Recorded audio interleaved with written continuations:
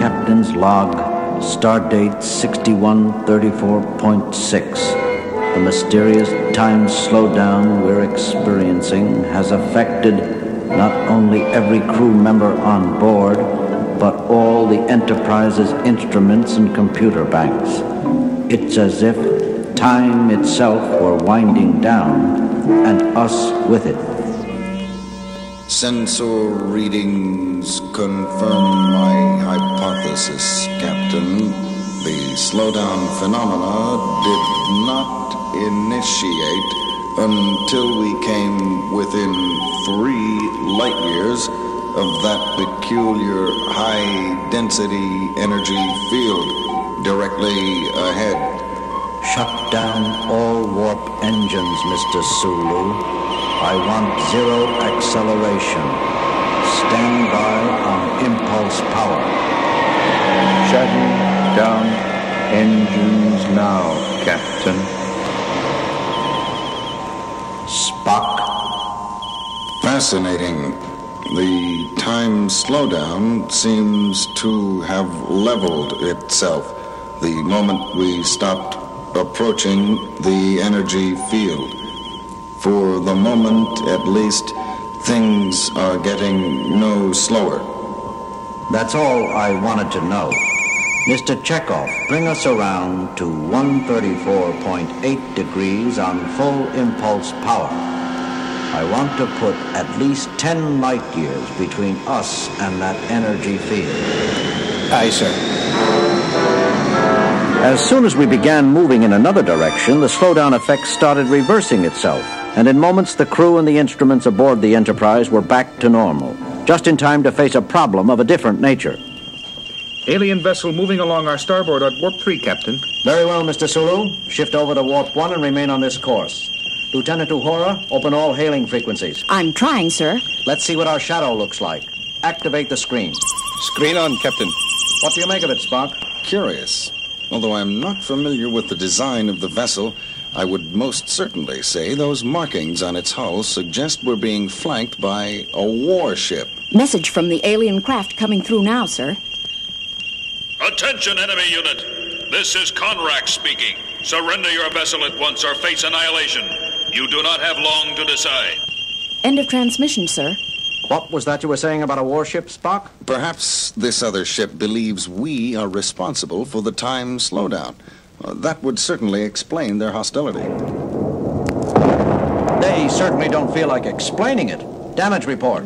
One of our shields is buckling. Moderate casualties in decks 35 to 38. Warp engines holding steady. Arm photon torpedoes, Mr. Chekhov. Photon torpedoes armed and ready, sir. Very well. Bring us about to 25.5 degrees, Mr. Sulu, and we'll be in position to. A moment, Captain. Something strange on my sensors. Report, Spock. Although the dimensions of their warship are even larger than the Enterprise, sensors indicate only two beings aboard. Two? Is that possible? Possible or not, it is a fact, Captain. I would suggest it might be wiser to. I'm way ahead of you, Spock. Transporter room. Scotty, are you still there?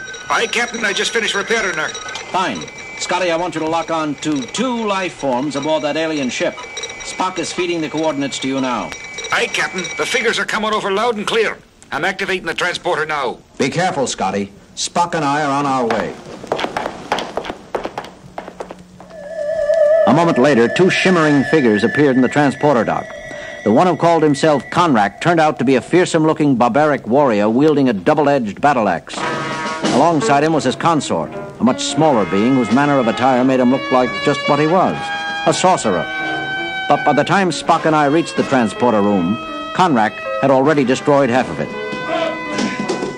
Scotty was slumped in a corner, his body bruised and battered, and it quickly became apparent Conrack had me marked for the same treatment. Ah! Captain, look out! Using all the advanced fighting techniques at my command, the best I could do was just stay alive. Conrack's strength was frightening. If any one of his blows connected at its full force, I was done for. But Spock had observed what I was far too busy to notice. All during the fight, Conrack's consort stood absolutely still, his hands rubbing his temples methodically, almost as if he were casting a spell. Acting on pure logic, Spock made an assumption, and he was right. Suddenly, the course of the battle changed. Conrack's unbelievable strength was quickly reduced to the level of a normal man. Now I had the advantage and the superior fighting skills. Enough! Enough! You have done the impossible. You have beaten me, Captain Kirk. Not so impossible, actually. I simply applied a Vulcan nerve pinch to your consort and caused him to pass out. Spock, I suppose I should say thank you, but I don't understand. Everything didn't become clear until we gathered in sickbay a few minutes later, and Dr. McCoy finished examining our pair of invaders. You want to repeat what you just said, Bones? It was very simple, Jim. The little fella. The name is Klee. Sorry, friend. Klee here is an honest to goodness sorcerer, to put it bluntly. The peculiar power running through his body defies all analysis. For lack of a better word, I'd have to call the end product of these collective energies inside him magic. Magic. I conjectured something of that nature during your fight with Conrack, Captain. It seems Klee was casting a magic spell to give Conrack an incredible degree of strength. Up until now, Conrack had remained somber and silent, but that was before a report from the bridge came over the intercom. Sulu here, Captain. You told me to report any change in the status of the time slowdown area. Yes, Sulu. Well, sir, it's moved. A full 3,000 kilometers since our first sighting of it. Fascinating. Yes, it moves. It has its own orbit. Conrack, tell us what you know about this thing. Our people call it the Gola, and its far flung orbit through this part of the galaxy brings it in range of our planet at regular intervals. A more terrible fate for any world I could not imagine. I don't get it. Just what does this Gola do? Think about it, Doctor. You saw what the time slowdown did to us in just a brief interval. Now imagine an entire planet caught in its stagnating influence for centuries at a time. Now I see. Scientific progress, cultural advances, even your people's thinking processes. It would all slow down to a crawl. Correct, Captain. Klee tells me our civilization is the same age as yours. Yet while your people explore the galaxy in starships, mine are still dressed as barbarians. But your warship. Conceived and powered by sorcery, McCoy. Not science. If it weren't for Klee's wizardry, we could never have attempted this mission. You came to destroy the Gola. By any means we could, even if it meant sacrificing ourselves. I wrongly made the assumption your vessel was controlling the Gola, and for the attack I am truly sorry. Captain's log supplemental. Conrack and Klee were sincere.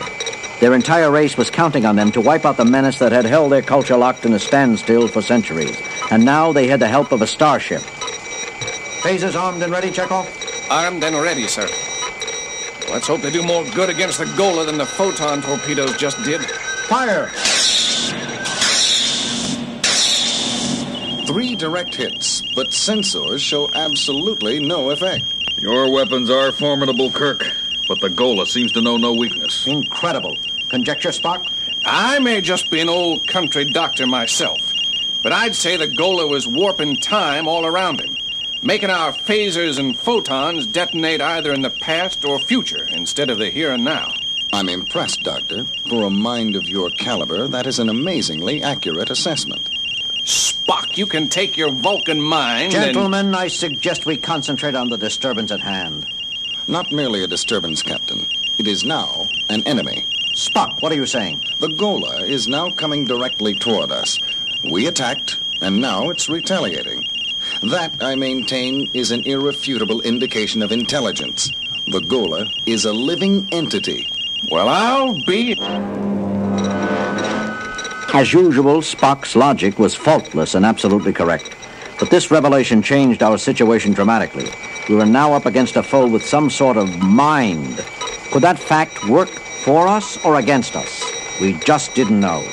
But Spock and Klee were up to something, finally coming out of a huddle at the far end of the bridge. Captain, Klee and I have conceived a possible means of combating this creature. Through its mind, Captain Kirk. Spock says he can electronically transmit mental energy into space through your sensors. But even if that's true, Spock, how could any of our minds possibly be a match for anything so vast and limitless? A point well taken, Doctor. But a single mind is not the ammunition we're speaking of. Spock thinks our one chance is to attack the Gola not with an individual, but a whole culture. Explain, Spock. A composite burst of mental energy, Captain, composed of all the minds of every member of Klee's race down through the ages. The melding of millions of minds into one concentrated channel. Spock, you're space happy if you believe that's even conceivable, let alone possible. On the contrary, Doctor, it may be impossible in terms of science, but we're not talking about using science here. Magic. Exactly, Captain. I've already shown Klee how to use our computer banks as a storehouse for the millions of mental images he will be conjuring up. I suggest we back away from my consort now and give him room. Conrack was accustomed to seeing Klee's wizardry, but we were not. As his magic drew upon the mind streams of millions of his ancestors, the rest of us stood back in awe. It's fantastic, Spock. I would never have thought such a thing possible. Just how old is your culture, Conrack? How much further does Klee's magic have to reach?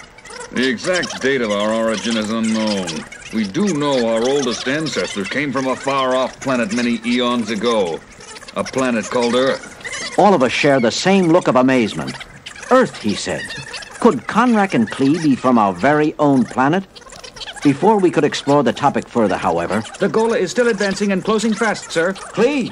He's ready, Captain. The counterattack will begin now. Klee's hands were gripped around the terminals of the sensor panel. His entire body was surrounded by a shimmering aura as he transmitted an incalculable energy charge through space, composed of millions of separate mental bursts, the sum total force of Klee's entire culture down through the ages. Report, Sulu. The Gola's charge is slowing, but it isn't stopping him, sir. He's still coming. In heaven's name, it's not enough. It's just not enough. I am afraid our race was not old enough, Captain. Our culture's history has not amassed enough mind power to overcome the Gola's sheer mental strength. Spock! What the blazes is he doing? He's grabbing the terminals of the sensor panel. He is glowing with the same shimmering aura that enveloped Klee. Oh my god, I understand. We all did. Spock was picking up where Klee left off, using what was left of the magic spell to force feed his culture into the sensors. I admire your first officer's courage, Kirk, but how can he hope to succeed where my consort failed? The Vulcan race is one of the oldest in the galaxy, Conrack. Odds are it's far older than your race or ours. That's right, now that I think of it. Vulcan history goes back so far, Spock will have billions of more mind streams to draw from. Look, I think Spock's reached his limit. He must stop. Too much mental energy will kill him. Then it happened. All at once, Spock released the sum total of Vulcan mental energy amassed through millions of years, transmitted through our sensors in one massive charge. And although the invisible charge did not show up on our screens, the result did. Look! Spock's done it! The Gola is backing away!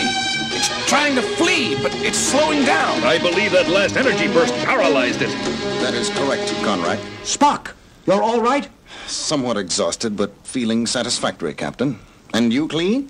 I'm fine. Now that I know we've finally beaten the scourge of our race. Now that we've got the Gola where we want it, what do we do with the blasted thing?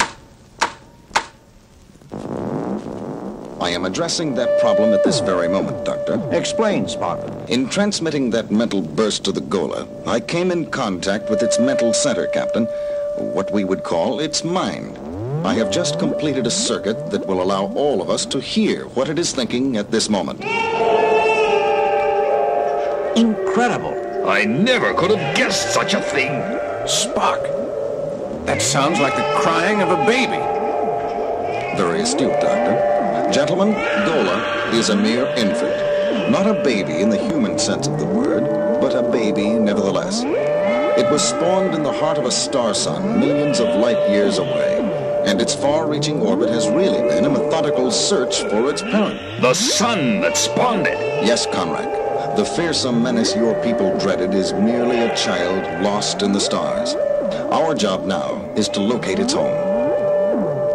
Captain's log, Stardate 6453.2. After using a long-range tractor beam to pull Gola behind us for several days, we finally released it moments ago. As we orbited the star sun, Spock's calculations had pinpointed as the parent. All of us watched the screen in eager anticipation. Instruments show the Gola is now stationary in the core of the star sun, Captain. Thank you, Mr. Sulu. I think it's safe to say the baby is home. Well, Spock, I've got to hand it to you. As a galactic babysitter, you're not half bad. See you all later. Spock, about Conrack and Klee, something bothers me. Captain, we returned them to their home planet. With Gola gone, they'll begin to progress normally now. I don't see a problem. That part about them coming from a planet called Earth. I can't help wondering if it was our Earth. But there are no historical records of an ancient civilization vanishing from Earth that long ago. Curious. When I took over from Klee at the Sensors, I picked up brief mental images of his very first ancestors. They were evacuating a sinking continent in spaceships. Spock, Tell me, Captain, isn't there an old Earth legend about a civilization that sank beneath the sea called Atlantis? Atlantis. Mr. Spock, would you be surprised if you just solved one of the greatest mysteries on Earth of all time? Surprised? Hardly, Captain. Somewhat pleased, perhaps. Spock, hmm, never mind.